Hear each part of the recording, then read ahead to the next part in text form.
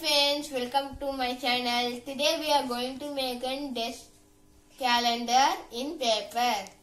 Come, let's go.